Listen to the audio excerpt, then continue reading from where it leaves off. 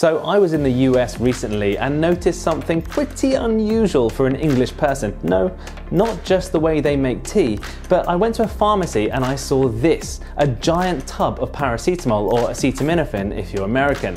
Look at that, 500, winner!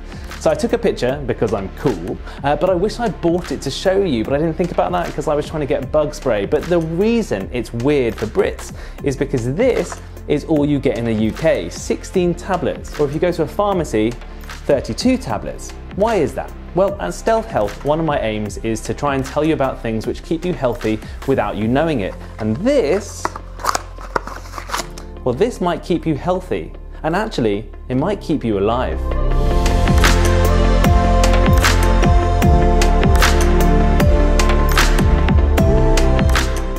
So what's going on here? Why am I making a video about a box? Well, this is paracetamol.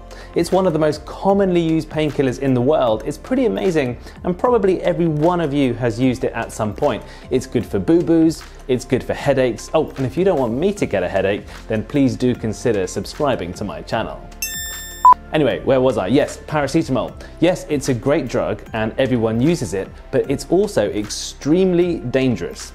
Now, if you overdose on these, it's not that it might just make you feel a bit sick, but it can kill you. And I'm not exaggerating here. I'm a doctor, I sometimes work in the emergency department, and unfortunately, I treat a bunch of people who have overdosed on paracetamol. Sometimes by accident, but sometimes by people who are trying to harm themselves or kill themselves. Now, I'm not going to go into how paracetamol works, I have another video for that, but what you need to know is that most of the paracetamol you take is good for painkilling, but a small amount turns into an extremely highly reactive and dangerous chemical. But don't worry, your liver can deal with that. It has its own chemical which can neutralize it.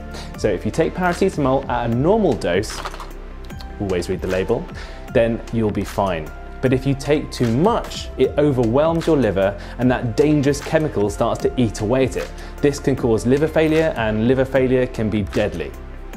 So why am I so shocked by what I saw in America? Well, if you sadly got to the point where you want to take your own life, it's easier to do it if you have access to lots of drugs in one go. In the 80s and the 90s in the UK, people saw this and they saw the self-harm rates, they saw the suicide rates, and they saw the liver transplant waiting list. So thinking number one, they wanted to reduce the amount of paracetamol you could get from this much to this much, this much being pretty much hopefully a non-fatal dose. When they spoke to people who had self-harmed and interviewed them afterwards, another important nugget of information came out. Quite a lot of them said that the act itself was impulsive. So remember what I said earlier, it's easy to drink a vat of drugs, but it's hard to poke out every drug individually. In fact, it's frustrating enough that you might stop. So because of this, in 1998, legislation was introduced to limit the quantity of paracetamol you could buy and to start putting drugs in blister packs. Did it work?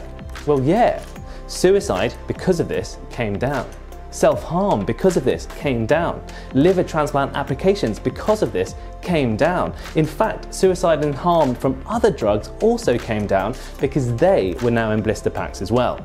So in the UK, a simple change in packaging, which you probably haven't even thought about, has saved lives.